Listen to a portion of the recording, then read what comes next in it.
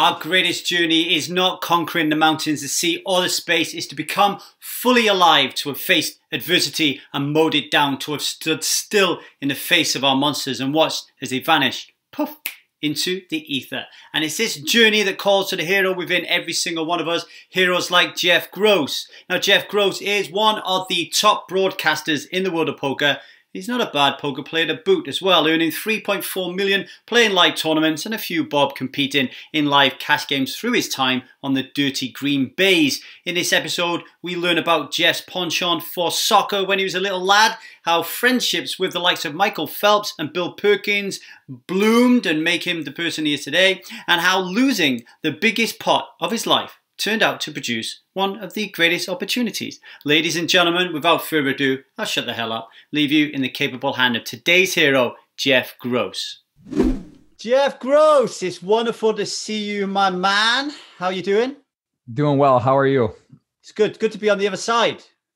Yeah, it's fun. I, I right. It's exactly. I, i am so used to uh, doing a lot of podcasts now, and, and we just did had you on on my show. So this is uh, this is the reversal. Let's let's get into it. Let's get into it. All right. So there's this saying that a lot of people say, and it goes a little bit like this, right? So uh, they fuck you up, your mum and dad. They may not mean to, but they do. What do you think of that statement, and how did that affect you in your life growing up? Do you think? Interesting. Um yeah, I I uh, I was an only child. I had a great uh, relationship with my parents. You know, I growing up. Um, I thought they were great parents. I, I don't know if they they messed me up, but um, you know, they. Uh, I think I think the biggest thing I think about parenthood and now being a father and realizing that you know you're not always perfect. You're not going to always do the best. You, you do your best though. I think that's that's fundamentally true. I believe in 99 plus percent of the time that parents are doing their best. You know, you don't really know what their situation is in the moment, their work, their personal life, how things are going. And, and I think ultimately parents do their best. And, uh, you know, I think looking back, if you ask parents and, and just people in general, what would they have done differently? What did they learn? They would say that they they they weren't the best. They they they, could have done better, or they would have done things differently. So uh, I I don't know, like, um, but but yeah, I mean, looking back on certain things that they did or how they did it, and and just what I don't necessarily agree with, or like, oh wow, like I look at pictures or or stories or just talking with them, like, oh man, like that's kind of crazy. Like, how did you do that, or why did you do that? But I, I think that's that would be my default answer: is parents do their best. Like, I think people are really trying their best, uh, especially with kids, and and and you can see you don't really know how much your parents love you until you kind of have kids, and then you realize how much you love them. Um, and, and, I think that's sort of what I would say. So I don't know if that's the juicy answer, looking if they like, you know, really messed up big time or what they what, what I would do differently, but like that that's sort of my uh, what my take on it is. When you say um, you look back at some photographs and say, "Oh man, what were you thinking?" You're not you're not talking about you being breastfed by your mum while she's having a cigarette and an ashtray dangling on her knee at you. No, just you know, like the clothes that you had on, or the the haircut they they chose, or or the uh, the the toys that you were playing with, or you know what uh tr- you know vacations or trips you took instead of maybe something else or whatever. I don't know. Just like kind of looking back and don't say like, man, I would have done it differently. But again, I think they're doing what they think is at your interest is the best at the time, what you're capable of understanding. Uh, and I think you know, again, they're they're looking generally to be unselfish and sort of uh, do the best for what they they think their their child wants. So yeah, that's what I believe. What do you think? Um, being an only child, yeah, I'm gonna I'm gonna give you a, a lesson in Welsh. You ever ever spoke Welsh before? No, I haven't. Enig blentyn ydw i. Unig blentyn ydw i. That is, I am an only child. Okay. I have no idea why I remember that out of my Welsh class, but that is what I remember. Um, there you go being Unig blentyn ydw i, what were the things growing up that you look back and think, ah, man, that was because I was an only child, positive and negative? So I, I actually never even thought about it until maybe three or four or five years ago, something like that, where it came up and someone said this to me, kind of joking, kind of just like as like a real you know, thing. And I started hearing about it more, like, oh, you, you turned out pretty well for an only child. And I was thinking, like, what's that really mean? And then I started thinking about my closest friends and people I know, and almost no one, maybe like one or two out of uh, you know a vast network of like people that I either knew very well or friends of friends. They all they were not only child. an only an only child. So I started thinking about like, man, it's kind of weird. Like I, I, didn't realize that was like the not normal. Most people do have siblings, and you know, my my wife has a twin sister and two brothers. A lot of my best friends have at least one, if not two, two children. So I started realizing like that is a bit weird. And I started thinking about, it, I was like, yeah, it's kind of like, I guess that saying means you're maybe a little socially awkward or introverted potentially. Like that might be the norm or people don't you know you don't have that bond or that someone to play with and all the time. But like for myself i grew up in sports. Uh, i was on teams from four years old playing soccer uh, pretty pretty seriously. And i always had friends over sleepovers and was just always around people and and feel i'm pretty socially outgoing so i don't think that was a problem for me but i could see why that would be thought like that or also just maybe there's too much attention you're too too uh not really good with sharing. Those type of things make a lot of sense just as, as a whole. And that's actually something my wife and I are talking about now is like, do we want to have more um, and, and not seeing pluses and minuses uh, to it. And uh, also, but then we have uh, nieces and nephews that, that are, that are close and, and, near us and that they, my son plays with all the time. And I, I'm not worried about it. To me, I have no issue or really feel like, oh, he needs a brother or sister. I do think it's nice to have, you know, there's nothing like family. You can have best mm. friends, mm. business partners, but there really is nothing like family. So to that argument as well, it's kind of nice to have siblings to share with and, and to uh, you know you can't really replicate that bond. So I don't know. I see I see pluses and, and minuses just like anything, and and that's something we're considering. Well, your parents must have done a good job if you're if you're like one of your core values is you know family is really important because like I'm the opposite. I'm like the opposite. I'm kind of like yeah you know, family to me is like, you know, whoever shows up for me and, and, connects with me and shows me love and I bond with, that's like my family more than just these people who like share blood with me. So the, your parents must have had a really big impact on you. What what kind of um, assets did they have that you've brought into your life that you, you even today you're like, oh yeah, this is definitely my mom and dad's influence on me. Yeah, I think they were just really positive people, very nurturing, very uh, believing, giving, you know, telling me I could do whatever I want. And, and, you mm-hmm. know, for example, with poker, when it was around high school, college, when I started getting more serious into it, there was never any, I don't know, be careful, whatever. Like it was just fully, you know, we support you, never even a doubt. And then even my dad got really into poker around when I was in college, just after when I started getting more into it. He started learning it, playing it, and, and saying he wished he had played earlier in his life because of some of the values and lessons and and just you know how you can apply it to real life uh, sort of like golf if you golf with someone or not you know you see how they handle themselves winning losing um, dealing with variance understanding risk all these type of things i think are really valuable uh, to, to, to be able to learn and, and, and poker kind of can teach you and help you with those those things and apply to real life. Uh, but just always that really the support you know they're just completely supportive always took a very uh, outward focus. You know i played soccer travel at a high level growing up, and it was a lot of weekends of the year, you know, all year round, where it would be weekends were a tournament, weekends were games, two games, traveling across the state of Michigan or traveling to different states for tournaments, and you know that was a big part of my life from probably eight years old till through uh, till I left. So I mean, that, you know, my dad, my parents weren't the ones that pushed me into another kid, and they go like they literally went to every game, every they didn't mm. miss a game. You know, maybe one or two, but almost never. And even like with take me to practices before I could drive. You know, in high school, they drive me and I was on a travel team. So I was uh, three, four times a week going 45 to an hour away each time there and back. So like, it was just really uh, investing in me in terms of my, what I was interested in and their time uh, with that. So I think that's some of the biggest things they, they gave to me. Where, where did you grow up and how did the environment impact on how you developed into a person, Jeff?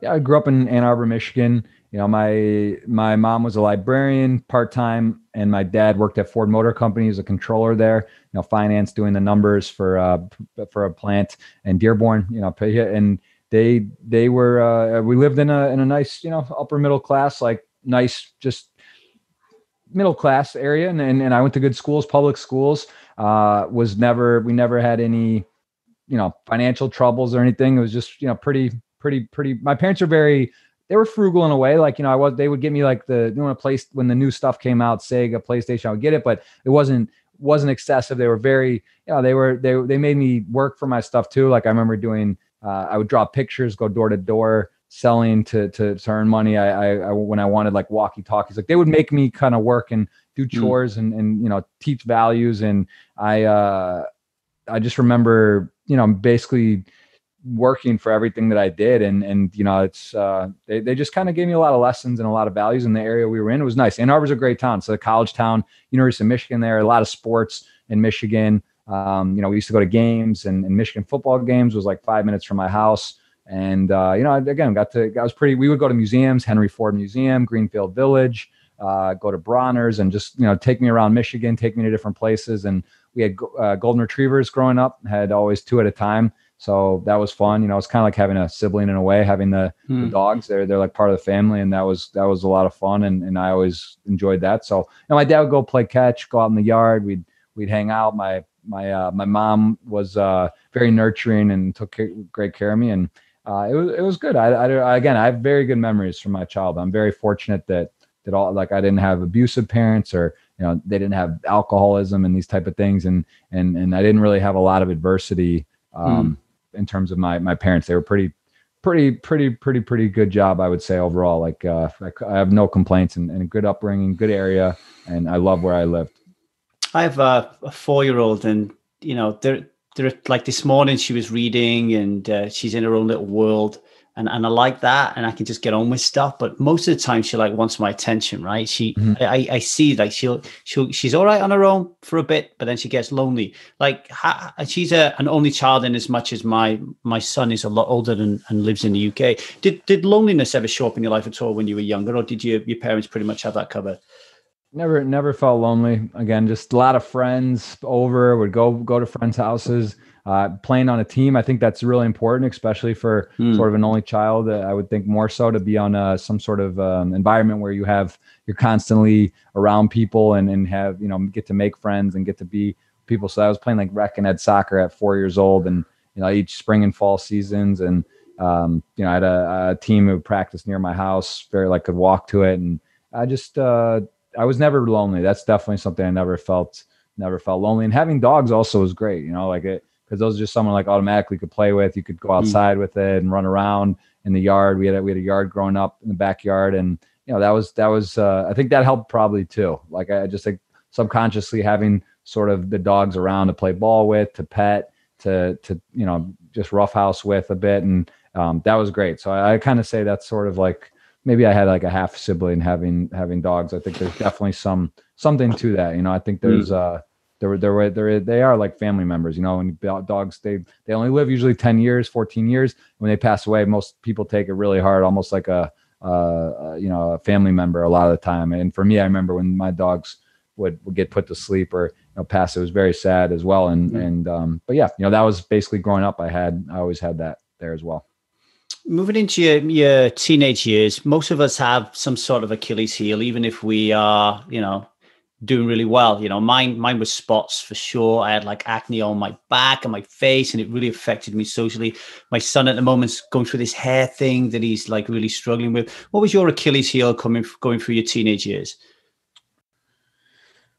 Uh, yeah, I mean, I think the the acne thing. I, I at certain points, eighth, ninth, tenth grade, had some. It wasn't like I didn't wasn't like on Accutane and it was crazy. But I mean, listen, looking back, it's so funny because high school in particular, it really is. You see these movies and hear these things people say. It's like very challenging. You know, it's so like everyone wants yeah. to fit in. I can't imagine now with with Instagram and all these different social media things where people know what you're doing and what's happening all times. If like a group of friends or someone's doing something, like they're posting about it, if you don't get it, like it just got, it's so in your face and it's so you know how many followers do you have? Like this type of stuff. It must be just like I can't even imagine now. But yeah, I mean for sure in high school, you know, I didn't drink very much and I wasn't smoking marijuana. Most of my friends were a lot. And you know that was a bit difficult. Like I was trying to be focused on sports. Uh, when I'd hang out with friends, it was sort of like you know to be in the in crowd or you know the jocks and like hanging out, but also you weren't. I wasn't really doing all those things. So like it's kind of awkward. I'd be there, but a little bit of peer pressure, a little bit of uh, you know, kind of halfway in, halfway out sort of situation. And also, you know, for soccer, I did miss a lot of stuff. I had a lot of times on the weekends where you know I would be traveling and and it was a bit of a, a tricky uh, you know process to balance social life and and whatever. But you know, I think I did it all, all, in all It was a pretty balanced and um, you know I, I don't think uh, you know I, I actually got really into poker. I wouldn't say an Achilles heel, but I had kind of a unique situation where I would miss a lot of school. So I had an acid reflux disease. I don't know if you know what that is, or I guess it was. It was I had for a while, like maybe for like two, three years, really mm. terrible. Like You've got, I don't know, are you familiar with that? Where you I've heard of it. Yeah, like, I, I throw up, but it's just like yeah. this burping that tastes like it's just this. It's it's honestly like the worst this taste, and like you feel so sick. And it was like that was I would say that was probably like looking back on it, that was like a two two three year period where I had that, and it was very concerning. And I saw a doctor. I had to have my bed like elevated to sleep, and I would get it randomly. Um, and, and a decent amount, but I ended up like missing a fair amount of school for that uh, at times, and it would be hard in the morning. And also, I was playing poker pretty late, like a lot. I, st- I think in like sophomore, junior year, I started playing a lot of poker. So you know, I was like up really late. Um, I had that thing a bit. I, I missed a, a, decent bit of school. Um, and, and I think that was probably the hardest thing to deal with was the, the acid reflux and kind of scary. Look, it just kind of like went away, like hmm. out of nowhere, like before even college. I'd say like my senior year or late junior year, I just like it just like stopped completely. I think it was like freshman year it started um, and uh, not really sure why or what. And then it just sort of I haven't had it, in, you know, luckily, and knock on wood, and uh, like I don't even know, it must have been yeah, 15, 18 years or something. But uh, that was like a bizarre kind of incident that was really uncomfortable, and mm. you know, it would just kind of come up sometimes. When you were getting into your soccer, who were the players around that time that were really influencing you? And just let us know a little bit about how far you got and kind of where the dream died, I guess. Yeah, I'm trying to, you know, that was back in the day with the old Ronaldo, you know, like the Brazilian Ronaldo, uh, Luis Figo, Roberto Carlos, Ronaldinho, um, that type of era. Uh, it was it was fun. I, I loved it. I mean, it was a passion for me. I started four years old, kind of kind of picked up pretty quick, got into it. Uh, was you know, was, I had a great relationship with the coaches all the way growing up. Was usually captain of my team. I ended up going to the Michigan Wolves, which was in Livonia. Uh, there's basically Michigan Wolves or Vardar. Those were like the two elite programs, and and you know a little bit far away from where I lived. And I remember going there my freshman year, and uh, and then I you know our team we ended up winning sophomore, junior year state champions. Uh, senior year, we, we lost in the final, so we went win-win um, second. But I, that was like where I really started going to like the big tournaments, you know, the, the Sun Bowl, um, the Disney Disney events, Blue Cincinnati Blue Chip, and that's where I got recruited for some some colleges. And uh, yeah, we were we had a great team. It was a lot of fun. I mean, I was I was you know center midfield, captain of my team. We were t- ranked number four in the country at, at, our peak, and we had a great team. And that was the most fun I ever had playing soccer. Like I kind of uh, just you know the, the, that time was was the best. And then I ended up going to college and uh, got a partial scholarship, University of South Carolina.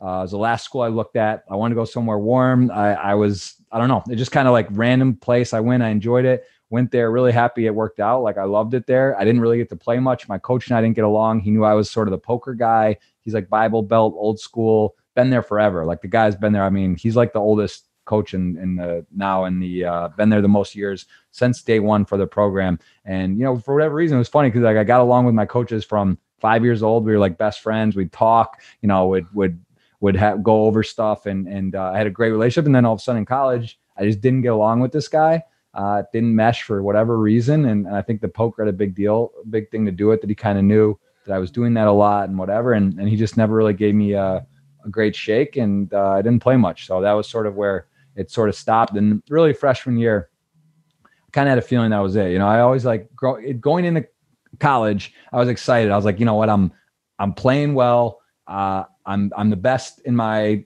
team, who's the, one of the best in the country. I was like, I'm going to crush college. I'll, I'm going to lead the, in the country in assists, and it's going to be a dream scenario. And I get there, everyone's really good.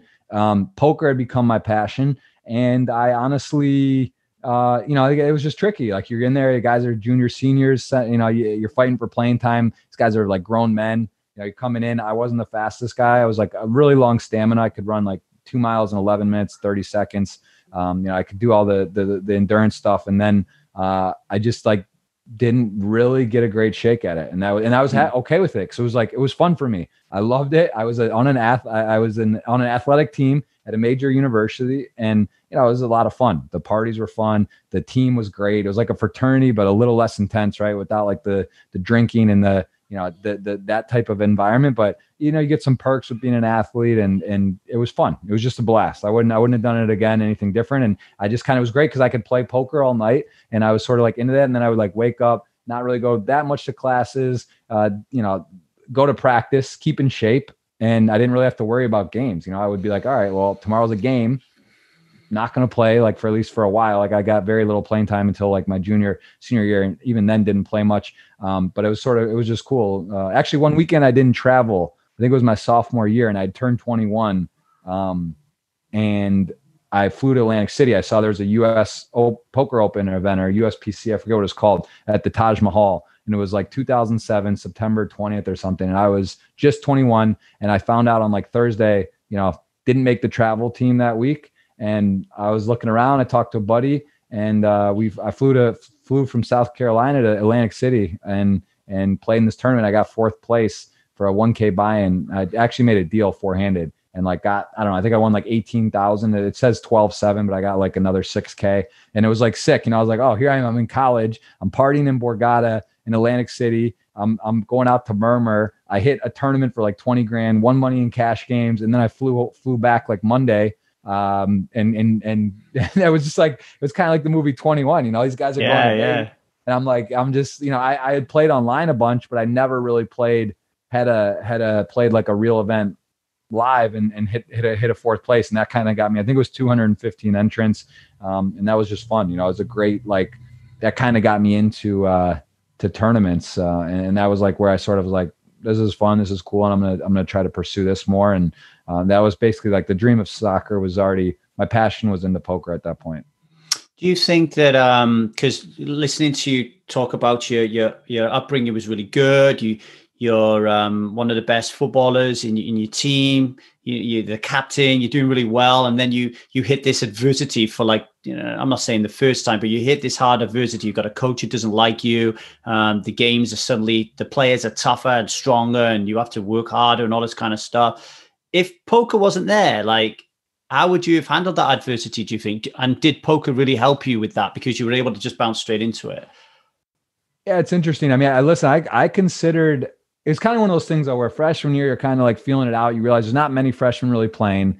Like I was okay with it, and I was still sort of really motivated, working hard, dialed in. And then after like sophomore year, where like things weren't really clicking still, I felt like I should be playing. You know, I was the practices were going really well. I thought like at times I was one of the best players in practice. Play a lot of small sided games. My coach actually said in our meetings, he was like, if this if if if it was eight on eight like if the games weren't 11 on 11, the fields were a little smaller, eight on eight, you would be on the national team. So he gave me like a really high compliment in one of my things, but like didn't really make sense to me. And then I just didn't get to play or a chance. And I just felt like I could do a lot, even if it was like just playing like, you know, 15, 20 minutes or take coming in and, you know, uh, play a bit. And so, you know, that was where I was kind of like over it. And I was like actually considering transferring. But at that time, I had made some really great friendships, you know, like my buddy Io Akinsetti, he's from the UK you know, he he was he almost played in the Premiership, didn't quite make it, came there. He was one of the best players, and like I would go over to UK with him once or mm. twice a year, and his friends were on the like West Ham United at the time. It was like Nigel Reo-Coker, Anton Ferdinand. Those were like who he grew up with in the West Ham youth system.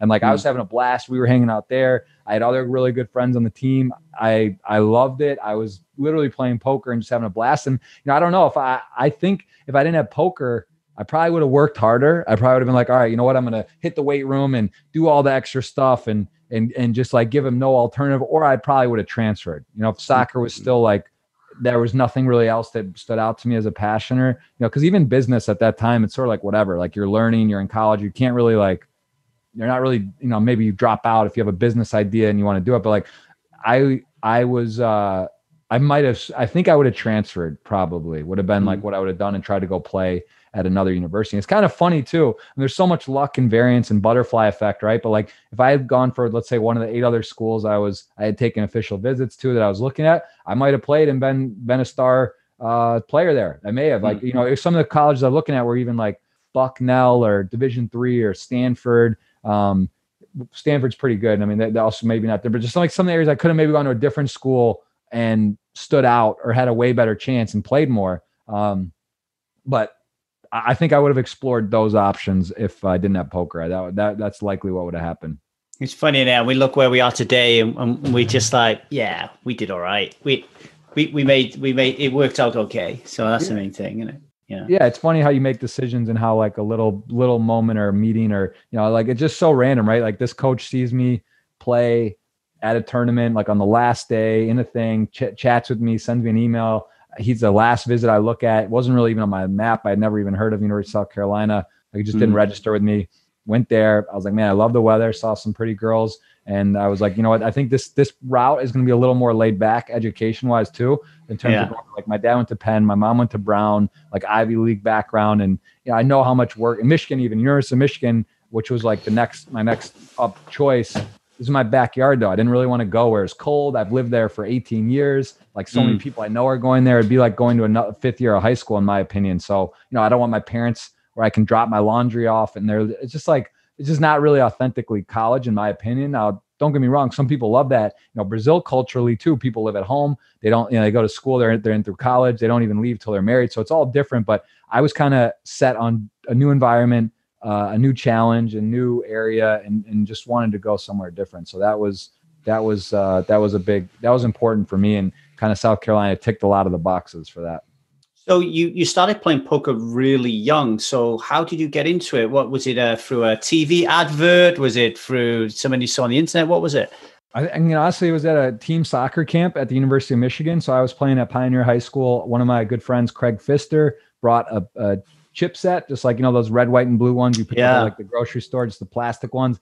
He brought it there. I think it was right at the summer. I believe it must have been 03 or 02 think it was 03 because like Moneymaker was on TV. It was like ESPN and just started having, I, I then watched Rounders, I think like that week as well. And like I was doing well in the games. Like I, I always like board games, video games. And so mm. I played a little chess when I was young. You know, there's a big chess craze now with uh, Queen's Gambit and people talking about it. It's getting more popular. But um, you know, I played a little bit of chess with my dad when I was young, but I'm really bad. Uh, I just never really got into it. But like, you know, all those games, I played all the board games, all the video games. And I remember a Sprite commercial where it was like really funny where these guys were they were playing a video game and like one of the guys is celebrating there this like cartoon character for sprite be like what'd you what'd you win man? What'd you win? Like he wins the video game. Now there's twitch. Now video games and esports are, are massive but like back in the day you know you don't get anything. There was no you play video game and you were good at it. Maybe there was like a madden challenge or like some little promotion like to win something but it was just way different and the point was like all right i found a game where you could actually win money and i was just getting into something that you know money became started to become a thing in high school. You know, my parents give you a little allowance. You go to school, you go out to lunch sometimes, you know, whatever. But there wasn't really, you know, the money had just started to become on my radar of something that I was interested in and, and wanting things. So it was just like the right place, right time. And I had a I had a decent knack for it. And against the people I was playing, you know, I was I was winning fairly consistently. But again, I didn't know what a big blind was. I didn't know what position was. I didn't know bet sizing. Uh, and then I read the theory of poker, and then someone transferred me fifty dollars online on Party Poker, actually, which now it's nice because that's who I'm sponsored with. Kind of came full circle. That was the first ever money got on hmm. there. I love this software at the time. You know, I, I forget. I probably had fifty dollars sent to me a few times. I don't remember. It's not you know, like it wasn't like the first time, and I just ran it up. But I got into affiliate business then, where you could refer friends. Got really deep into that and, and that was sort of more in college but this was it was just great. Like i was playing 25 cent 50 cent with my friends coming over to my house. I do tournaments i go to some other games. One of my best friends chris iannuzzi had a brother at michigan. We would go play in their games. Like after about six months or a year we'd go up there. We'd be on campus playing with like you know a little bit older guys and playing in their games and i was beating them fairly consistently uh, and it was just fun, you know. It was like a really fun time um, starting out and, and, and playing poker, and it just happened fast. I became immersed with the game for sure. Don't press that fast forward button. Have some respect. If it wasn't for the likes of Run It Once Poker, Jeff Gross and I wouldn't be sharing these nuggets of wisdom with you. So just hear me out, okay? We've got to give him a shout out because Real Poker is an online poker room for players created by players. And if that appeals to you, then head to once.run forward slash hero play today and you can pick up a 100% welcome bonus up to a ceiling of 600 euros. There are two elements of this deposit bonus that make me want to go and join a training camp with Michael Phelps. First, it never expires as long as you play one hand every 30 days. And second, all of your deposits during your 30 days count towards the bonus. So remember that URL once.run forward slash hero play.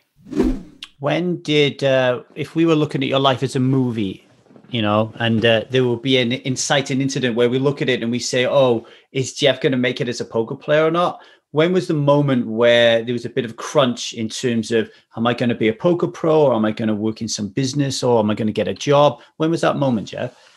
I never had a, I never really had a time where I was like debating to not because I just, it was just one of those things where I was in college. Um, I was playing online playing, playing, doing okay. And I didn't really ever have a, I was like by the end of college, I was pretty deep into it, and I was I'd already had a little bit of a bankroll. And then you know I met so I actually Michael Phelps, the swimmer, that was my roommate for seven years. I met him in 2006 at a poker table in uh, mm. Windsor, Canada. It was called Caesars Windsor.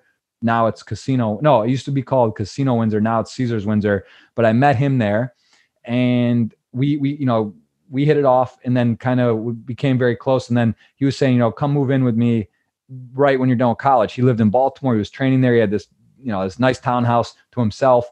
I was at South Carolina. He actually drove to South Carolina and then came drove back with me. We took like some of my furniture and everything like that when I graduated in December of 08 and then moved right in with him in that time. Uh, and and he was like he would take pieces of me, stake me for a little bit on some of the stuff I was doing. So I kind of I had I wasn't really stressed or worried, and it was kind of like I've always been in school. I've always played soccer since I can remember. So I had these two major responsibilities, and now it was just like, all right, not like I'm just free. I have no mm. soccer. I've got no school.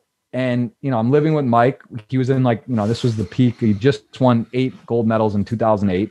He's like kind of has his downtime period, a bit of like not going so hard. And it was just a blast. Like, I mean, it couldn't have been more fun. I didn't feel any pressure. And then in 2009, I hit a, I guess the moment though that to, to answer your question about timing and, and wise was like, I had never thought, oh, I need to do something or it's going to, you know, it's going to be trouble because I was playing online doing okay, and I had a little bit of money, and I was I had made a bunch of money in these affiliate programs on Party Poker, which was like my whole business model in my freshman sophomore year of college. That's where I really got my role. It's crazy numbers what what you could do for signing up people there, and uh, but then I hit a hundred k score. I got a hundred and nine thousand dollar score and a one k buy-in in 2009 at the World Series, and basically my my first summer out there. Uh, I think I was 21 or 22 um, maybe the first summer I didn't play many tournaments. I was just in Vegas, played one or two. But here was like my first summer, and then I hit that that 109k score. I got fifth in a 1k. Um, I think it was like yeah, 3,000 people, and you know that was huge. Like that was just like instantly. I was playing like 500 and 200 dollar buy-ins, hundred dollar buy-in tournaments online, 33 rebuys. I was playing like one dollar, two dollar cash, and all of a sudden I just hit like a 100k score. Hmm. I think Mike had half, but you know either way like I had a great summer and and just like now my role was like bigger. I was like, wow, this is real. You know, it's like a real score. Um, and that was sort of my first like stamp, my first take on like, all right, it's real money. It's a chunk of money. The game is thriving. Numbers are rising. Uh, online poker in the U.S. was picking up everywhere. You know, there was de- like I, I just really felt like that was you know that was sort of like a stamp that that, that made me not ever really question the time. I would like if say I came back, I bricked out Vegas. I mm. had, you know, I was needing to be staked fully. I, I had basically no money. Uh, then maybe things would be different, and I would have said, hey, you know, this maybe it's not for me, or I got to think of something else, or whatever. But you know, I'd already sort of gotten into business a bit, and and sort of starting some other like affiliate programs and and and doing some other side things at the time, and and I was just comfortable, so I didn't really have to worry about that. Luckily.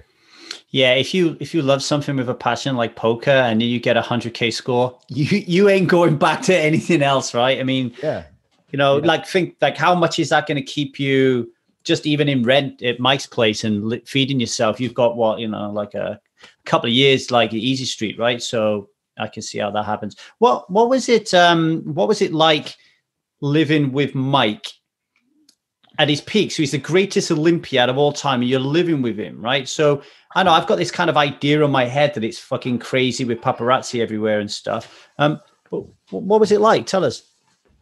Yeah, I mean, you know, it's I could do a whole podcast on on my time with Mike because like you know those were those are the years. Again, life is so much about stages, and and you get these different pockets, right? You're in high school, you're in college, then you're out of college, you're single, you're your girlfriend or, or whatever, or your your fiance, and then you're married, and then you have kids and it's just funny because it's like these are just different time periods. You know, things you're doing in different pockets. You're not hanging out with your single friends when you're married. You're not when you when you have kids. You like hang out with people who have kids because like it's yeah, different. Yeah. how crazy it is. Like you're not. It's just it's just different things. So you know, this period is special to me. It stood out like you know, it was it was. I have I have stories and trips and, and things that you know just like I'll never forget and, and some amazing memories. I mean, just say the one that, that stood out the most was probably and, and, I mean, I could just give you a little overview of what it was like to live with him. So Hugh played poker a lot. You know, he would mm. he hmm. would he would train twice a day. He'd wake up at five or five thirty, go train at you know six, crush a workout. He'd come home. Usually I would be sleeping uh, pretty till like noon or so because like I would play poker late and uh, I would, uh, you know, he would then we would I'd wake up. I'd either start some tournaments or we'd hang out a bit, and then I would I would start. He would go to a second workout. And then he would come back, and then he'd either hop in like the nightly schedule with me, um, and I'd play, you know, pretty late. If we both got knocked out, or some days we didn't, we go to dinner, have friends over, play beer pong or whatnot that was very common. You know, he'd have activities, and you know, Mike was. You gotta understand, like Mike is. uh he was he's the most disciplined guy. He didn't miss workouts for years. He would work out every day, even Christmas for years. But you know, the guy would have a good time too, and he would um you know he would he would have he would have fun. He'd have friends come over. We had a, we had a nice group there. Uh, and and you know it was it was interesting for me though i was like i said i just was out of college i was out of my responsibilities i was drinking a fair amount like just just in general, I would play beer pong or whatever. I was eating terrible. I'd order Chinese food. I'd be playing online poker. Mean, this was before they even had like synchronized breaks. You know, I remember like five minute break at the at the time, but it was just like chaos. I was playing a lot, and um, you know, it was wild. But I'll just say, like for example, in 2008, I went to the Beijing for the Olympics. And that was an experience I'll never forget. And I mean, I remember, you know, the night Mike won his eighth gold, we we went to a like a celebration thing they had for him, and you go there and you got you know, we, we walk in and everyone's just going, it was just crazy. Like it was honestly out of a movie and then walk over and then there's Kobe and LeBron. They're there waiting for Mike to congratulate him. We did a shot with them. They had a game the next day, you know, and the U S basketball obviously was just like, it was like a, a playing kid, kindergartners. Like, so they, but they were out there. It's just like moments you'll, you'll never forget. And I actually went on, we went on and flew around to a few different places, Portugal. Uh, we then flew to the UK to do like the ceremony he did. And I actually was in my, I had another semester of school still. So like this is like August of 08. My school started August 12th or something. I came back like September 1st or no, I came back. Yeah, yeah. I came back like August 27th or something. And so I'd already missed like three weeks of school. And I emailed all my professors like, hey, look, I'm I'm out. I'm on. I'm not. I'm not going to be back for a bit. Let me know. And I'll never forget. I came in uh, my first class. I came back to, and I walked in, and they were taking a test for like the first three weeks. And my professor was just like, "Hey, you know, it's okay. Like I'll wait your stuff for for the rest of the course. We'll take this one out. And actually, Mike came and gave a speech to my class, like one of those big, you know, 120 person yeah. class, like auditoriums. And he, that was one of my teacher asked, like, could, could he, if he's here, could he do that? And he did it. And like, that was huge for me. You know, I'm not going to say I wouldn't have passed or whatever, but like he, mm. you know, he definitely helped out. And it was just, it was just fun. Like having him come and visit at South Carolina. There was that infamous bong uh, incident, you know, like, which is funny to look at now. It was like such a big deal and he got so much shit for it. That was there at South Carolina visiting me, and you know that now it's like marijuana and cannabis is legal everywhere. What's yeah. this? Uh, what year is this? This is 12 years later now. 10 years later, things have changed a lot, and it just shows you how crazy it is. But um, it's a uh, you know, it was it was it was a wild time. Obviously, he was very he, at that time in 08, he was probably the most famous person in the world for a period of time.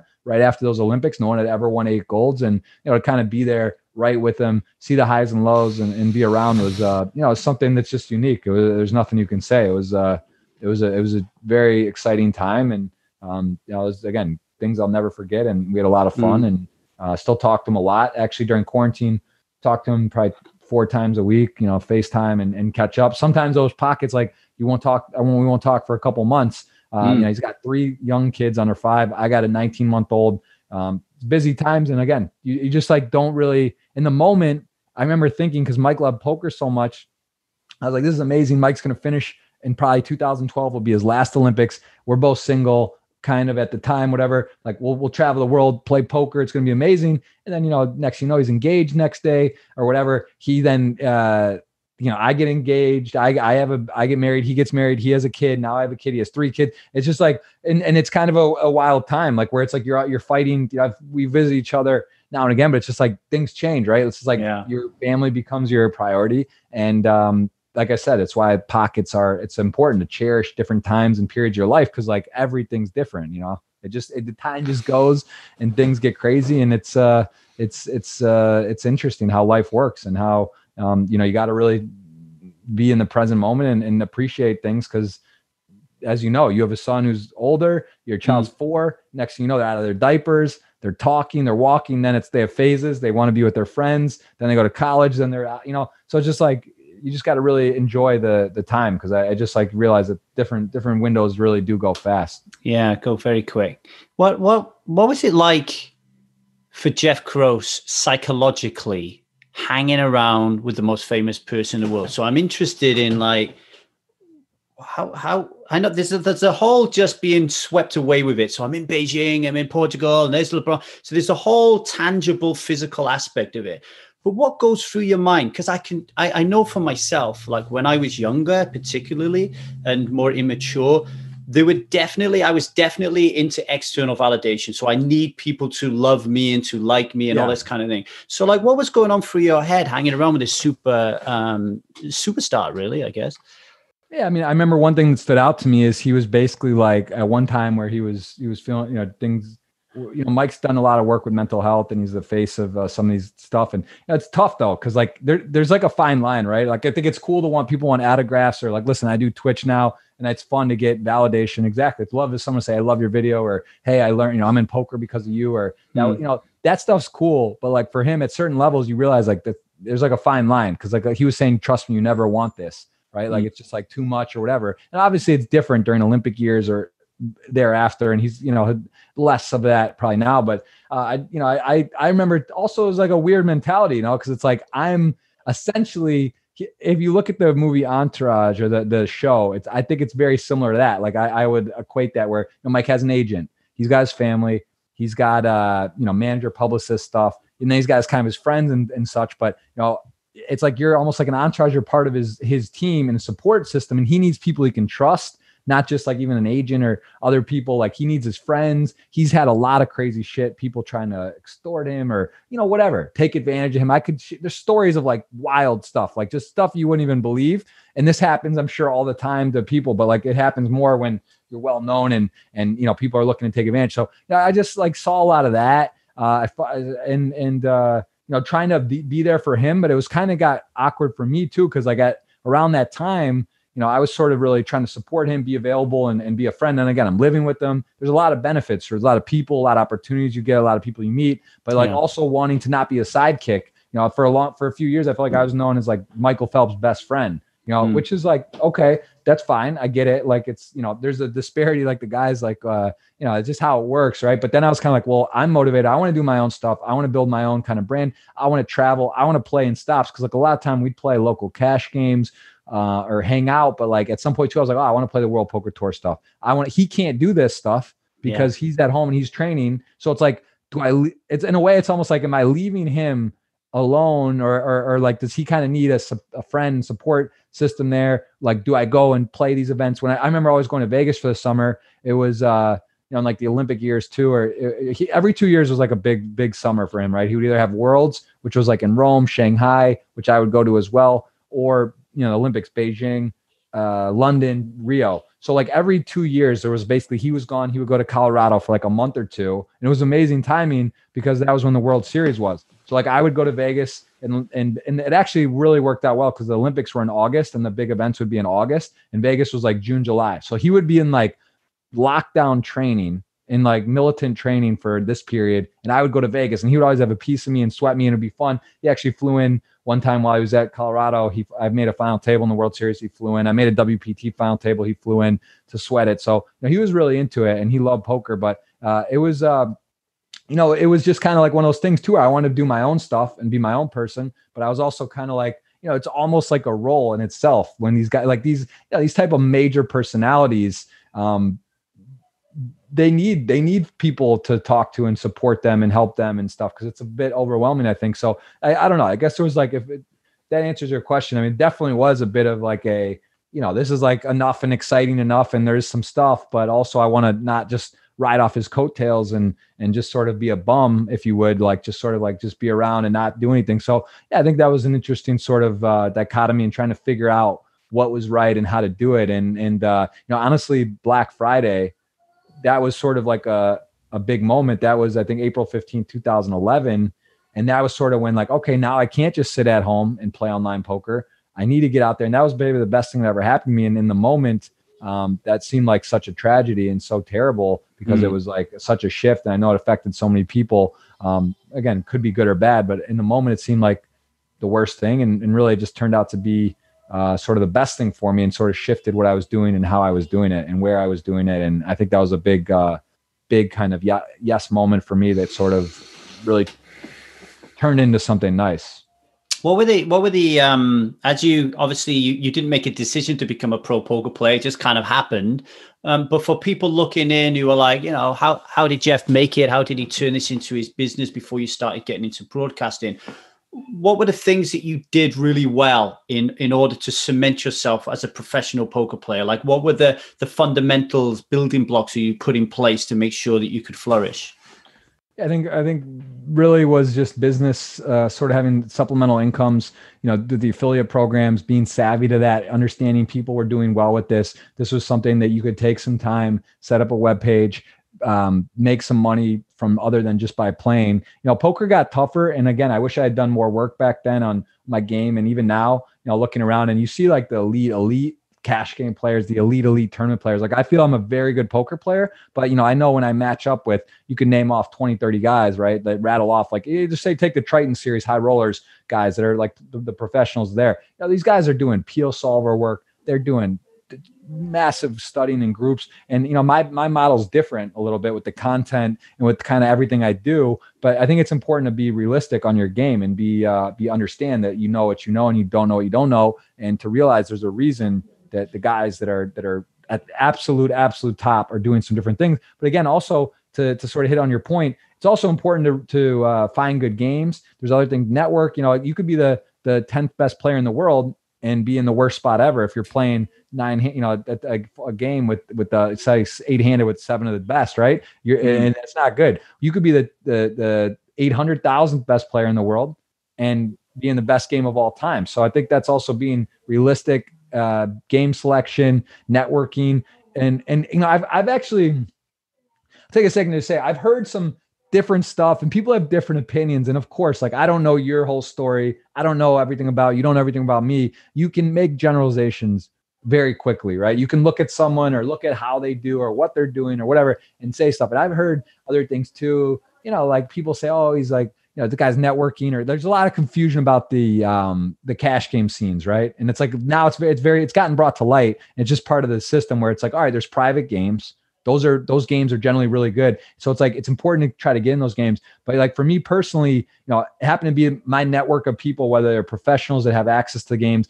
also my friends you know who i've met or, or some people that i've become super close with have you know play big or are not pro players and whatever. So you know people can look at things or say say things however they want to maybe perceive it. Maybe they're jealous. Maybe they just want to hate. Maybe they want to just they don't know and they just want to create controversy but i think that's a uh, something i was very fortunate that some of the opportunities i've had were in some good games with people that happen to be very close friends of mine um, that i've played and done well in games and, and that was also you know at the time in like 2012 13 getting to play some of the biggest games in the world or at least that i was aware of in the us uh, and was pretty pretty fortunate um, and, and also kind of maybe again, if I wasn't doing that, who knows? Maybe I wouldn't have felt comfortable to stay in poker or felt that it was lucrative enough and I might have found something else. But again, just kind of like the different stepping stones, the different opportunities, and then in you know to kind of jump then into Twitch, and I mm-hmm. pivoted mm-hmm. as well in 2014, 2015, I guess it was um, early 2015 when I sort of saw Twitch and I saw what was happening. I realized I met my wife at Burning Man. Uh, we're now married and we have a son. But like, I realized, you know what? It's not really feasible for me to fly to Houston twice a week anymore. And what if this game stops, or what if this dries up, or what if whatever? I want to be able to do something that I can control, that I can build my own brand. And I, I realized I kind of had to shift and pivot. And you know, that was a little scary to sort of start from scratch on something that I didn't really know how it would go but you know hmm. i had a vision and idea and i thought it would suit my personality and you know that i'd say like the different different parts of my poker career being able to sort of foresee things and, and get a get a whiff of them and, and and just really go for it. I think that's been been very pivotal. And you know i don't think people realize in 15 16 there was only a few people jason somerville jamie staples you know kevin martin some of these guys that were successful on twitch had these channels were doing something. It hadn't caught on. You know still poker stars and these models where we want to we want to sponsor the biggest name who's won the biggest tournament. But now you know you see guys a, a site would much rather have a guy playing $20 mtts that has 30,000 plus following on twitch and is active on social media than you know a guy like uh again i could just throw out names guys at worst spot it doesn't matter right like a big yeah, name yeah. that now doesn't have a deal because like there's a dime a dozen guys that are winning these high rollers And uh, you know, there's some of them that are very active and do great work in promotion. Some don't, and and that's fine. That's just who they are and what they're focused on. Maybe they're spending all their time studying and working on their game. Some guys are doing a mixture of both. Some are just more content. So you know, that's uh, the, industry shifted, I think, in general, and what's happening. It's uh, you got to always be alert to sort of what what the what what the what's happening and, and look ahead. All right, is stuff closing? Am I going to be able to do this from here? Uh, what is it going in the U.S.? So sports is becoming big. Um, you know, private clubs are big on like you just kind of have to always have your eye and stuff and, and be open to change. Cause I think that if you just sit and, and if you're set in your ways, um, you know, you can get just left in the dust or just get blindsided if you're not really aware uh, to what to what uh, what what's happening within your industry. What was it like when you was playing in uh, the really big games? Can you talk about that a little bit? Uh, are you able to say? I mean, I know sometimes this is difficult, yeah. but are you, are you, able to say about who was playing and uh, how it all worked and that kind of thing? Yeah, I mean, I played I played some big cash games. You know, 200, 400, pretty consistently, no limit. I played as big as 1K, 2K, no limit. Um, you know, again, various deals, whether it being staked or having uh, selling action. Same thing with hundred thousand dollar buy-ins. You know, 12, 13, 14. I'd say that was sort of like the peak of my tournament career. That was when like Alpha Eight started. You know, Bill Perkins. I was playing a big cash game in Houston. I actually met him at a personal development course in uh, Vegas. Antonio Esfandiari went to it. He told me about it. Bill went to it. It was one of the best things I ever done like I met Bill, we we really hit it off. And next thing you know, I was like coming to Houston, we were hanging out. I didn't even know who Bill, I didn't know he was. I didn't know anything about him. I met him there and you know, I started going, I was playing this huge cash game. I was flying in once, twice a week. I'd stay with him at his family's house. We became very close. You know, his daughters, his his wife, then everything like it, it was just an amazing, like sort of everything started happening. And then all of a sudden I was like playing hundred Ks uh, and, and and doing all that, and it was it was fun. You know, it was just like a wild time. I hadn't met my my wife, or I didn't I didn't have a relationship. I had no. I was bouncing around, playing poker, flying all over, and I it was a blast. Like playing massive, massive games. You know, 100 100,000, 200,000, 500,000 dollar pots. Um, so that was also cool because it kind of taught me you know, it was a different level of uh, I played 25 50 sometimes, but this was like a new stratosphere and like know the nerves and sort of like even though it wasn't all my money uh, it was still very intense and very exciting. And the people you know you're, you're it's like car- cartoon characters and and make believe it's like got the ceos of these companies and the biggest guy in real estate doing this and oil and you know celebrities and athletes and different people you're meeting and and just you know gambling with uh, it was pretty surreal. And and that was uh you know, that was that was something i was doing for a while. And like i said when i met my wife then it was sort of like, well, she doesn't really like Houston, not going to live in Houston. She wants to live in, in either Brazil or Miami, these different places. And like, it wasn't really feasible to fly in twice a week and do this. And I, at that point, basically made a decision. I was like, all right, I'm going to do it less. I'll maybe come once a month, do less. The game was a little smaller at the time. Even at this point, it, it had slowed down a bit. And, and then that's when I said, you know, I'm going to start Twitch because this is something I can actually build on. I can have, because again, the, the private games and all this are great but those games change. Like it takes one or two people that aren't playing, or yeah. the game dries up, or something happens, or someone stiffs, or this and that. And there's no listen. It's great, and you can make some money, and you can use that to do other things. But again, you're not really building a foundation. When you play in private games, you might network, make some relationships, but that that there's no like the thing I love about Twitch is there's a history, there's there's a there's a there's there's numbers, there's data, there's there's a brand, there's opportunity, and you kind of like create something for yourself. It's like your own business, and and that was very attractive to me. And just again, different different. I still play some big games now and again.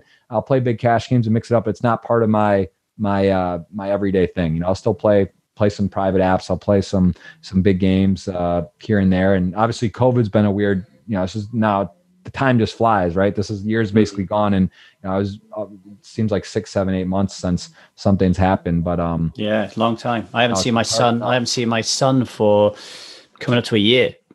You know, because because I, I, I don't want to leave the country. Um, in the, the with the Bill, we'll call it the Bill Perkins era. Um, I'm really interested. Uh, I I have friends who are um, multi multi multi millionaires and I'd be lying if it didn't affect me in, in some way or another, right? Like it, mm-hmm. it does. It, it, I, I, I'm, I have to, I think about it a lot more than I would with a normal friend. So I want to ask you the same question as I did with Michael Phelps, like psychologically being in and around Bill and Bill's world. What's going on in, in your noggin, good and bad?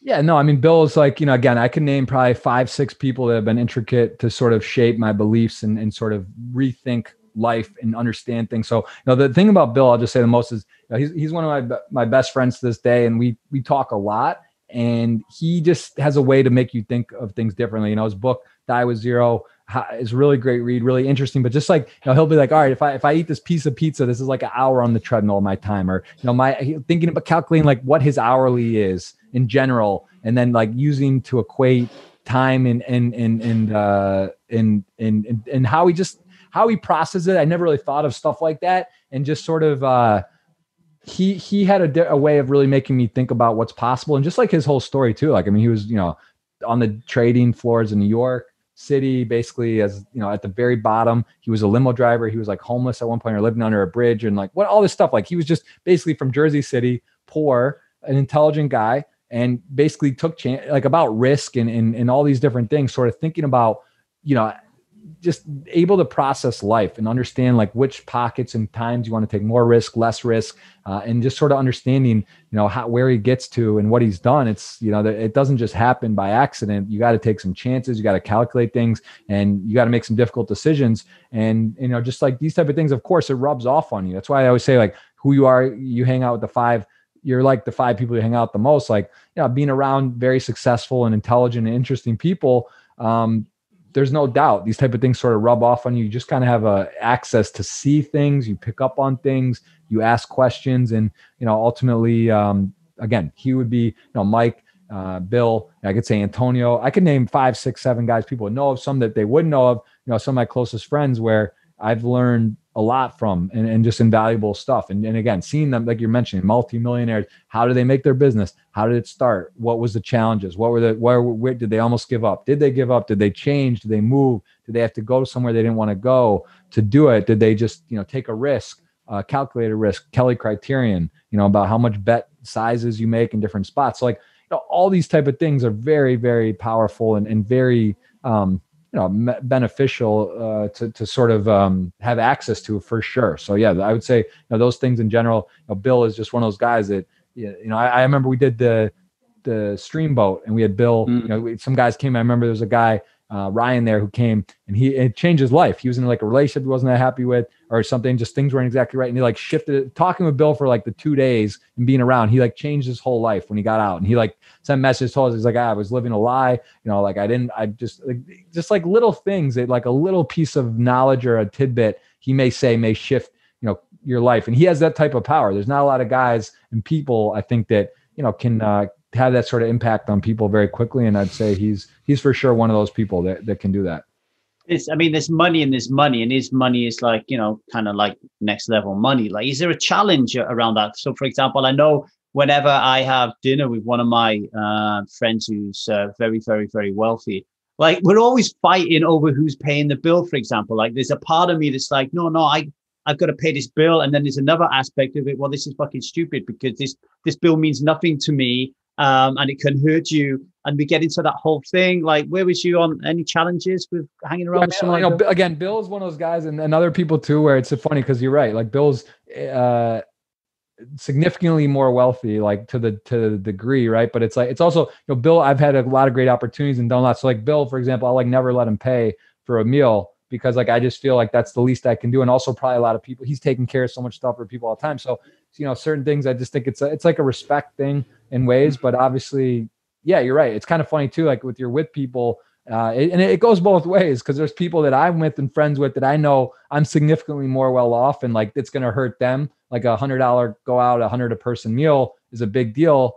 you know, and, and it's all relative though, right? I think like there's all different levels all the way. And that's why it's nice because like certain, certain friends, certain people, I want to always be overly generous and do whatever I can at all times because, you know, I've had that, um, that done for me eh, with a lot of my friends that are significantly in better spots and want to help me. And so I think it's kind of like sort of like the pay it forward mentality. Um, but in terms of that, like, yeah, I think, uh, I, I, see what you're saying. And, you know, again, I try the people that have always helped me and do stuff, even if they're way, way more well off or whatnot, I'm going to go out of my way to try to be as nice and generous and just sort of show appreciation because, you know, there's certain, certain people you can't pay back right? Like you just stuff they've done, opportunities they give you, yeah. no matter what you do, you could really never like actually give that back. And and yeah, I do think it's important to not be, you know, you don't want to be that person either. It's like a freeloader that's like never paying and, and be that because that that's something just never would want to have happen and uh you know that's that's important to me i think to to do that so um yeah. Jeff Gross, back in the day, he picked up a Sklansky book to learn how to play poker, but today books are old hat.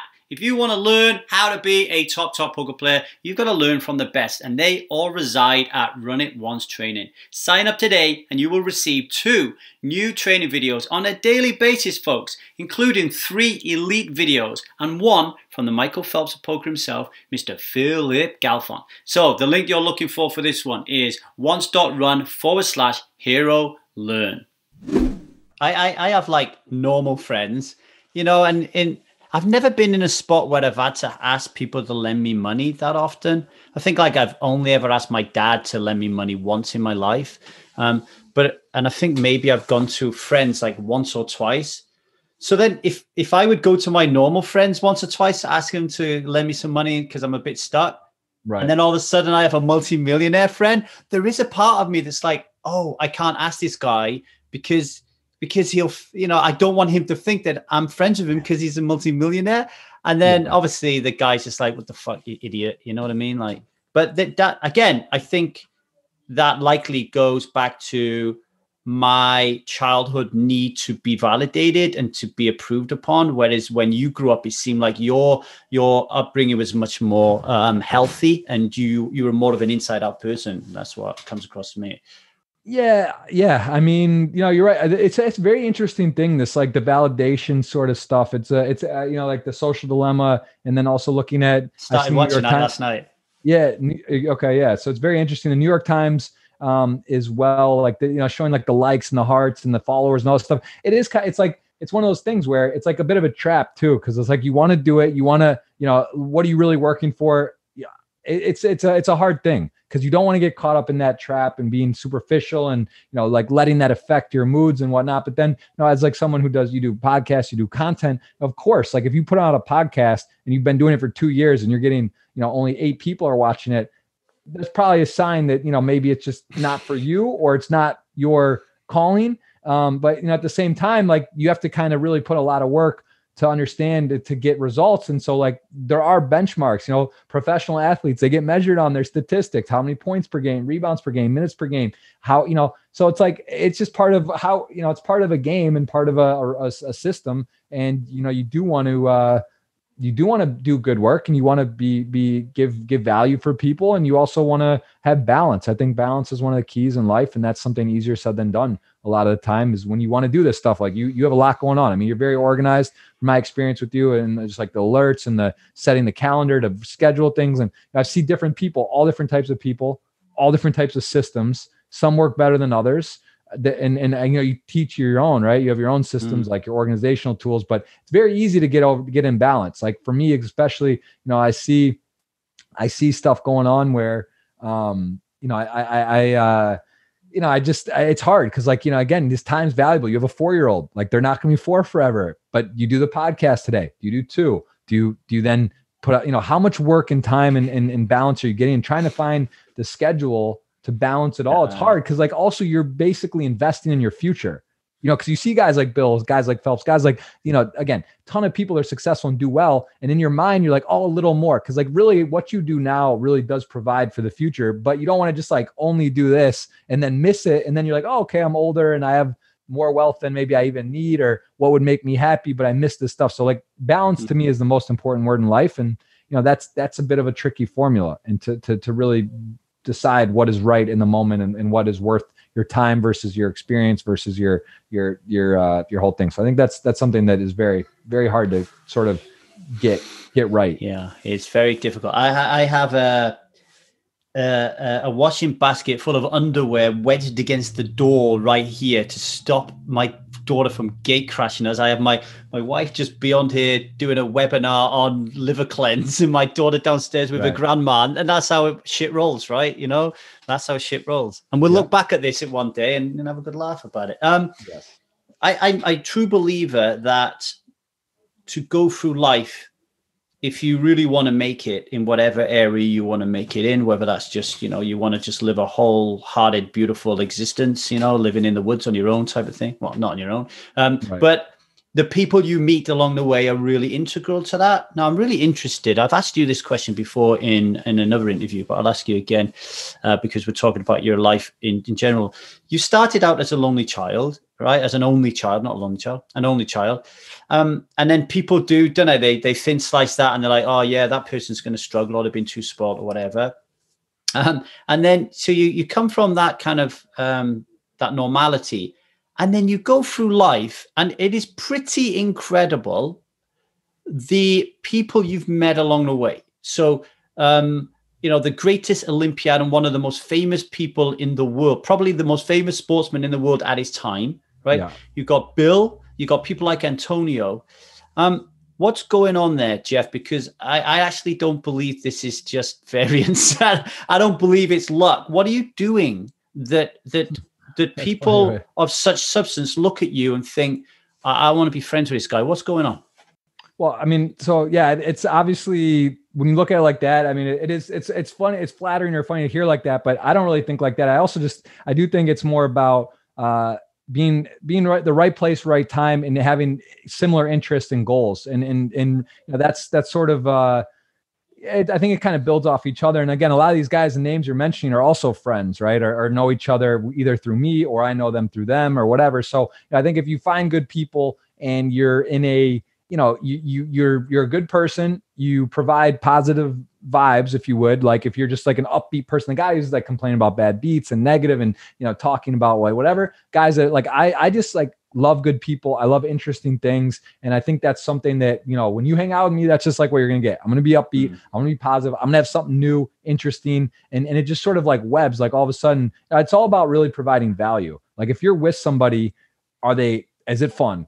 Are you having a good time? Are you learning new things? Are you getting introduced to new things and opportunities? Uh, do you do you enjoy their outlook on life? Do you enjoy their their jokes their humor their their light all these things kind of playing. And like again with time as you get older you start realizing well now it's like a big deal to go on a to meet with a friend to to hang out like all right i have my son i have my wife i have my this i have my work i have all these things. So like my extra time is so limited that like mm. when you you really want to like somebody if you're going to hang out with them because it's not it's you yeah, know yeah like and back in the day you're in high school out of college it's like all right i'm just free all the time you know, I'm hanging out, like we're talking about whatever, nothing or this. So, so I think, but I don't really know how to answer your question. I will say that my nickname that Antonio kind of actually Matt Waxman, I think coined it. And then Antonio sort of made it, it was PBF, professional best friend, just sort of, uh, along to say what you're saying, like almost like I'm in a lot of people's top fives, like people like very close with a lot of people. Um, and that also takes a lot of, uh, I don't want to use the word work, but that takes a lot of time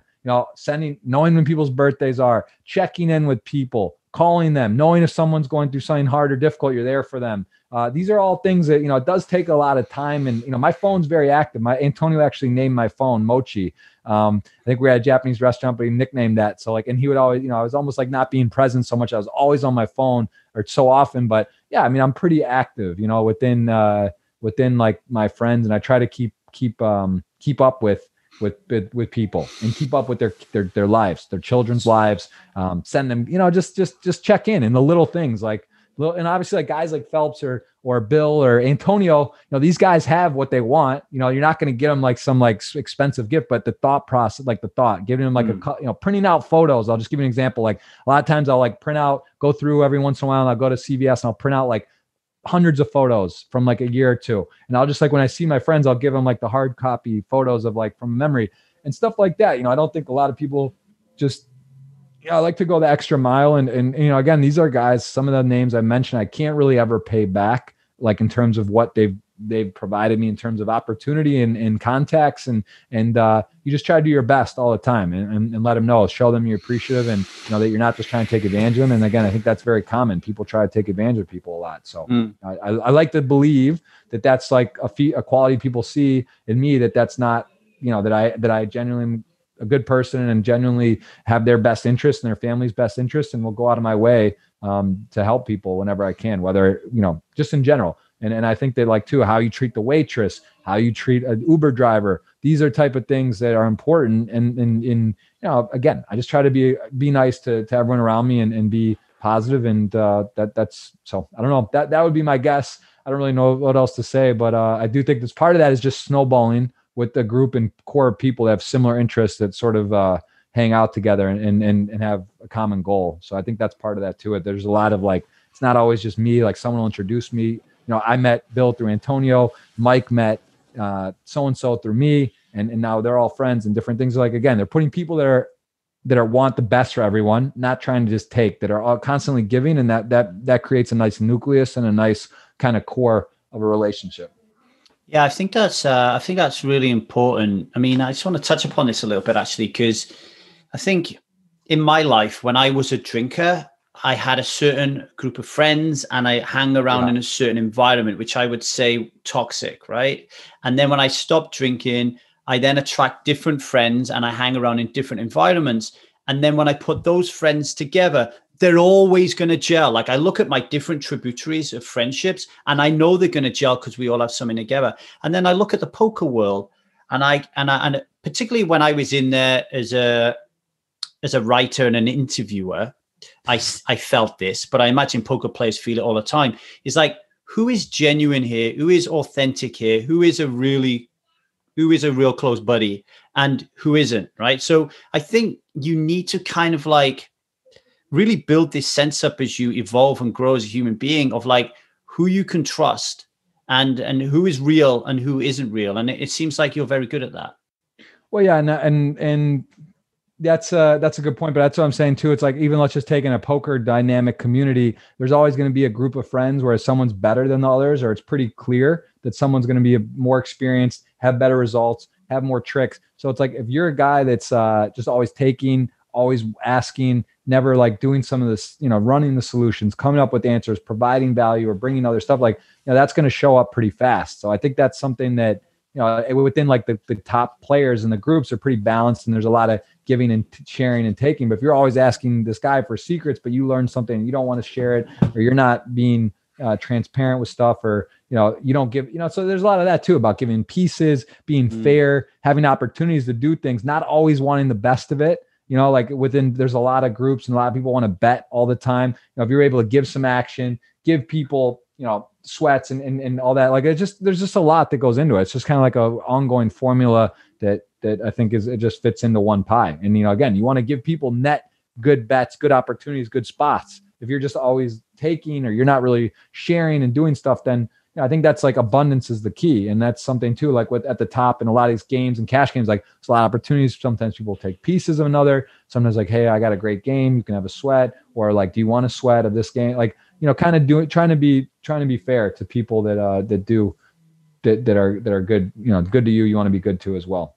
Yeah, I think that's really important for you know for people listening to this, you know, who are thinking to themselves like, how can I become a professional poker player, or how can I excel in my business? How can I become my the CEO of the company I work for? How can I just get a job? Whatever it is, like, does this? Whilst you can look at like Jeff's story, for example, and go, oh, right, it his his the way that he got went through life just it just happened, right? It just organically happened, right? Um, However, you can still look at that and you can still have processes in place, whether that be journaling or meditation or prayer or whatever, to just check in with yourself and be like, how is my life going right now? How how am I showing up in relationships? How how are my relationships? Am I providing value? Like you just you just said there, um, don't be the guy who's always asking is asking the questions all the time and keeping your value. And I wrote that down. I'm like, oh, that's something I do sometimes in some areas of my life not all of them, right? So I just urge people listening to this to just be like, okay, let's just check in with myself and just ask myself, where am I showing up in my friendships? Yeah. Am I showing well, up out of scarcity, abundance? I, I will, I will show you, I will, sh- I will say um, that quite the, the course that I did was very powerful. And that was like the main thing at the moment is to get in, to get honest feedback. How, how are you showing up? to people because that's very difficult. It's very difficult to have open, honest conversations to your friends, how they're showing up first of all, or for them to accept it, or you know, for you to sit, share that. So when you get to go into like a forum where people are just don't really know you, don't have any, they're not afraid to say, "Hey, you're selfish," or "Hey, you know, you're doing this," or "Hey, you're you're you're always on your phone," or "Hey, you're not present." Or you know, it's good to get feedback from people that that are able to take that, uh, share with you that, um, and I think that's that's one of the things that was really good. And also, just to your point, like you know, again, in poker, there's a lot of predatory things. There's a lot of things are not genuine. There's a lot of people trying to do different stuff, take angles and do things, right? Which is it's just anytime there's money, and stuff. There's going to be sort of this type of environment. But you know, to your point, or just to sort of say, like Phelps, for example, I didn't know who Mike was. I honestly, I lived in, I my, I grew up in Michigan. I didn't even know who he was. I didn't remember him from the last Olympics, even though he had already won in 04, six gold and two bronze. I honestly didn't even remember that or hear about that. I didn't go to Windsor. Oh, I hear Michael Phelps is there, and like I'm gonna try to get his table and try to play with him and befriend him. You know, like I didn't even know him, or, or it didn't even. That doesn't. Same thing with Bill. I didn't know who Bill was, and I was in poker already, and I went to this course and it wasn't like, hey, I want to, Bill's going and I'm going to try to, like, I show up and we hit it off. And I didn't even know, you know, how, whatever, like he, that he's ultra wealthy and that he plays in these crazy games. And there was even a game. So, like, these are the type of things I'm talking about. It's easy, I think, looking on an outside or judging someone or, you know, nowadays, or of course, once you're within a circle or a mix, you know who's kind of who. And like, you can sort of, you know, go and do different things or whatever. But there's just a point like someone who might say like, oh, this, you know, he's a he wants to whatever. It's just like, no, like I didn't, you know, I didn't know them. I don't even. I'm not targeting people. I'm not like and, and stuff like that does happen where people, you know. But even then, it's like the to your point. It's not even easy. A lot of these people you can't even get access to, right? Yeah. Like you're not. They just they're their guards so up. Like Mike is so guarded. Like yeah. you're not going to get to like hang out. Like you don't just go meet him at a charity event and you know like he's gonna you're gonna be friends. Like mm there, and so it's yeah i mean i don't know. I mean i think it's part of that is uh it's a little bit of um right place right time. And uh it's also just sort of um again once you get in with once you know people and you know actually i'll say this because this is kind of messed up in a way. It's kind of like a it's comes across very bizarre. I don't know if you've have you had antonio on your show before? I I haven't had him on this show. He said it was too complicated for him, but I I have had I have spoken to him a few times for interviews. Yeah, so like I'll give you an example. Antonio um, who's one of my best friends, he has a system and he's he'll talk about this and whatnot. Like he has like a ranking system for his friends, like a one to 25. He has calls his top 25. It sounds super terrible and superficial, right? It sounds like kind of like what the hell? Like, what do you mean? I know a lot of people are like, it's so ridiculous, so crazy. That sounds terrible, but you know, it makes a lot of sense. And really, we all have it. We just don't say it. But yeah, you have your best friend.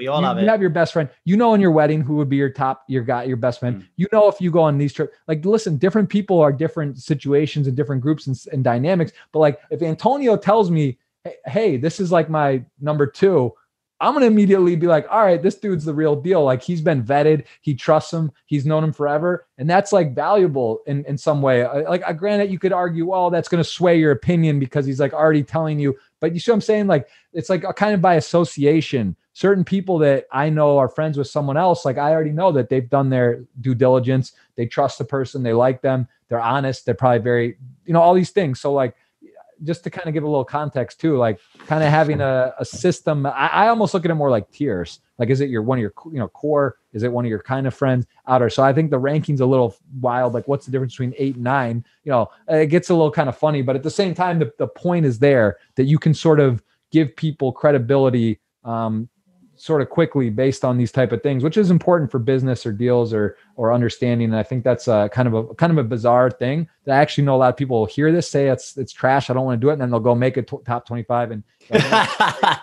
well, it, it's interesting you say this because you know I work in the field of addiction, and um, I, I run this six month workshop called the Stride Method for Addictions, and one of our assignments is called Status, where we we bring to the forefront this hierarchical structure we have of where we exist within our friends framework and we bring it out of the subconscious and we bring it to the conscious and we say right where do you think you are because mm. it's really important to know where you are because when you stop drinking or smoking or taking drugs you're gonna you that is gonna matter like how like if i'm in a group of people and i think that i'm suddenly gonna drop down that that pecking order because i stopped drinking then I'm not going to stop drinking. So that is something that we need to deal with. So it's really interesting that you say that Antonio is just already out there because I, I think there's nothing wrong with it.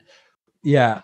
I did a, uh, I did a, uh, I, I did a one year. Oh, there's my son. Baby crying. Up. Yeah. uh, yeah. He, uh, I did, a, I did a one year, a one year no drinking thing. That was, that, that, that changed my life. Cause that was, uh, it was a bet, but it was 2013 or 14, I think, Cinco de Mayo to Cinco de Mayo, basically. And I was in Mexico and it came up, and uh, I, you know, that was awkward for me because like at that time, my friends, we'd go out to dinner. It was just like, oh, okay, I'll have four rum and cokes or, you know, three uh, vodka sodas, like as a default just yeah. like and then it would then the night would turn in and then it'd be ripping shots and like it was just a phase i mean it was part of my life it was you know i was having fun i was single and going out and getting getting kind of wrecked and having fun and just like i was just doing it though out of like habit because everyone else was doing it. I didn't even think about it. Wasn't thinking mm. about my body. Wasn't thinking about the side effects. Just like kind of like I had no responsibilities, and it was just sort of like part of my stick. And then all of a sudden I stopped, and it was like a little bit of weird because like the friends I was with were doing that a fair amount, and like it was kind of weird to have to explain it. We go out, we'd be in Cabo or something, be going out on the golf course, and people would be drinking. I'd be like, oh, I'm not, and they'd be like, this guy, you know, because they kind of almost look at you, and there is, is something wrong with you? Yeah, like, or what's what do you mean? And then I'd be like, oh, it's a bet, and they'd be like, the. and then and then shortly though, in the next year, two or three, a few of my other friends just stopped drinking, or also whatever, or would barely drink, and you know, almost like it was like a I feel like it was like almost an, but it was uncomfortable at times because it mm. was like a lot of these scenes where you want to have a drink or you know just people are doing it and it and it, and it kind of felt it felt it felt funny. It didn't feel natural to not do it. But then after a while, I basically stopped drinking. And then sure, I'll have a drink at a wedding or like if my but you know one of my buddies and we'll go out and have a beer or something. But like I'm just not default dinner three cocktails as like just to do it. Like I didn't even know I was doing it. Like there's nights we just like hang out, go to drink. I didn't really like it. You know, I was just ordering yeah. and I'd much prefer to have water than uh than a, than a drink. But like I was doing this for like a couple of years. Like my dad was almost worried about me. Um. So yeah, it's uh, yeah. But yeah. So that there you are. Gam- gambling can be used to the force of good sometimes. You know. Um. I was reading a uh, book with my daughter last night she's so she's so smart. Like um, I left it on a cliffhanger. So there's this little story about these these kids who live in they, they go to visit this tree house. It's like a time machine. So mm-hmm. they, they read a book about knights and castles, and then the, the, the treehouse takes them there. And this little boy, he fell out of the castle and landed in a splash. And I left the story there. And she's like, mm-hmm. What the fuck, dad? Like, you got to keep reading this story. I'm like, No, no, we'll read it tomorrow night. I left her like in this kind of like all is lost moment, right? She doesn't know what's going to happen next.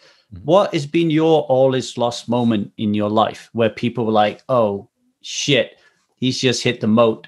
I don't know if he's going to get back up or not. Uh man, a couple. I, I think I sort of touched on it, uh, but I could think of another. But was the the Black Friday? That was like a real like whoa. Like I remember being in New York City at the time with one of my best friends, Tim Begley. He was also kind of just playing poker for a living, played basketball professionally, uh, was was staked and did really well and was one of my one of my core guys that would hang out. I go up there, play. We just, you know, it was great. We'd be in New York City, play online, go out, have a good time. We are sort of in the same period out of college, not really sure. Uh, and I just remember being there when that like woke up the DOJ and Black Friday, and that was like, you know, I think that's one of the the uh, the moments about you know you don't know it's not about what happens not about how you it's how you react to what happens uh, in bad situations so i think that's like the most vivid one that that that sort of time period that shifted my life and, and got me back on track and playing more live and traveling and taking care of myself um, that was sort of an aha one um, i'd say the other one maybe the most interesting and i don't want to say like it kind of hits the point as well um, i think this is my most fascinating poker sort of tale or story or moment although the money was really big and it was significant. You know, again, I had some pieces sold. This wasn't like put me down or out, but the actual situation of what happened, which I feel like I can share now because it's uh, been been a bit and and and, later. And I, I, maybe mentioned this a little before. Was uh, uh, actually a hand in January of last year. Uh, playing a private game in the Bahamas on a boat in the in the harbor there at the in the Bahamas, and um, I was I got to play in the game. It was a very good game, private game, 100k min buy-in um, cash game. And uh, I got to play. Actually, Bill, I think was with me. He came. He played that night, and a couple other guys like uh, maybe Evan Mathis, Jason Koon, and they got to hop in the game, and I got to play. Um, and and I remember I was up like 106. I was up like 65,000. I get two aces. Uh, of course, always with aces, right? Something gonna happen crazy. So it was like a 500 1K with the 1K ante, big blind ante. There was a limp for a thousand, a raise to 4,000, and Rob Yong actually just called 4,000. Okay. I have aces in middle position. I make it 20,000. Folds around to Rob. He shoves all in for 100. He puts me all in. You know, he had me covered. And I didn't really know Rob. I had played once 200, 400 televised at Playground Poker with him. Didn't have his number. Didn't speak to him. We knew of each other, but you know, not not not more than that. Never never even really a convo. Uh, and we turn the cards over. He's got kings. I've got aces. Kind of bizarre. He flatted kings on a raise and a straddle. I had aces. Happen to have my cooler him, and he's and I look at him, and you know, it's a big pop for me because I it's a big game. I mean, I'm, and I and I was just like, I was like, what, do you want to run it twice or whatever? He's like, I, he goes, he goes one time. And I go, okay, like you know, man, shit. I'm I got a I got a baby doing three months, my firstborn. It's a huge like you can't really run it two times, really. Like you don't want, and I'm ahead too, you know, like yeah, yeah. Like I'm behind, and it's like the guy doesn't want to run it. It's a better deal for him, really. So he runs it once and uh flops a king, rivers a king, makes quads. I'm just sitting there, kind of like whatever. I end up, you know, rebuying and losing a couple hundred thousand instead of being up like 250 if I had won that pot or whatever. And uh, so in that moment, you know, I was pretty tilted because all around, I was like, what the hell? Like, I, I get aces all in pre-flop. I lose. The guy won't run it twice, and he actually hit quads. I would have won the, set, you know, whatever. So I'm just like kind of steamed up. Like, it's kind of crazy. But like Rob and I were talking, then Robl, Andrew Robl was like joking, like, hey, uh, you know, Rob, you should pay pay Jeff with his own money and and hire him to uh, bring him over to to party. And you know, it's interesting because this was January like 13th, 14th. I actually had busted the PCA. Remember that special 25k? Yeah, like dude, big yeah. event. I busted Aces the Kings two days before in that tournament, the biggest tournament ever, like prize pool and whatever. So I'm not having a great week there. And uh, and then the thing is, though, because I lost in the game, I got to play the next day. And during the during the night, you know, again, like I said, poker is a lot about golf too. Similar, you handle how someone wins, how they lose, how do they handle themselves at the table, how do they how do they act, like all these things. So Rob and I got to know each other a bit, and then I got to come back the next day because I had lost. Yeah, I didn't have my guys weren't in, even there anymore, but like I was stuck in the game. They let me play again. I won, came back, did okay, whatever. And like Rob and I kept talking, and then Rob was, you know, conversation comes up, and my deal with Poker Stars was up January 31st, end of January. I had my meetings down there with the team, like scheduled meetings, renew contract was being talked about, coming up with the terms, the deal, whatever. And uh, then all of a sudden, Rob starts saying, Hey, like, you know, I haven't done Twitch. And people I don't think know this maybe about party poker. Rob was aware of Twitch. Party poker was aware of that whole thing. But Rob's point was our software wasn't up to par, our guarantees weren't really there. Why am I going to spend all this money and hire streamers and stuff to promote a product that I'm not really proud of or like I'm not comfortable with at the moment. So, kind of right place, right time. Lucky that hand happens. Get to know Rob. We play the next day, take a meeting or two, and then he flew to Miami a week later. But after you know, I had gone home at the time, uh, we met up and kind of worked out a deal, and you know, basically said, "Hey, do you want to run uh, Twitch team online?" And I said, "Look, you need to get this guy, this guy, this guy, this guy. You need to do that. Here's how much." And he was just like, "Done, done, done, done. No even negotiations on that." And then next thing you know, like you know, it's just a much better situation. Like I, because yeah. again, my stuff with with stars um, and being able kind of pigeonholed being within the U.S. and what they wanted me to do. Whereas like what I wanted to do there was was create a podcast. I wanted to to venture out. I wanted to help sort of build the the ideas and, and help with the team and manage and, and grow you know so like it was more what i wanted to do and it was just like the perfect fit and the right time and you know literally within two weeks again this is like i could i can't make it up there was no contact with Rob. I wasn't shopping other deals. I was going to resign with Stars. I just hadn't even thought of considering anything, and just like complete randomness that happened. So you know, which is, was I got a great deal. Did a three year deal, signed with Rob, and you know that's up in next February. Who knows? I, I am very happy here, and hopefully, you know, I'm, I'm I'm enjoying it. So whatever. But like that, those two things, Black Friday and that hand, I think those are like the the clear two sort of moments of like in the moment, really bad and then sort of looking back and just kind of uh, kind of looking like, all right, well, man, here's another example, something that seems bad that really is the best thing, and that's why I think like with relationships, with jobs, with other things, you know, losing people, like just whatever it may be that seems like the worst in the world. Generally, if you really sit back, kind of breathe, meditate on it, think about it, um, it can it can shift and it, things can turn uh, and and be a be a positive. So I think that's uh that's uh, those two things. Jeff, I'm going to leave it there. I think that is a beautiful story to end it. I just want to thank you uh, for being um, really open and talking from your heart and sharing a lot of personal stories. And everybody, this is Jeff Gross and his Hero's Journey. Thanks for joining us. Appreciate it. Thanks, Lee.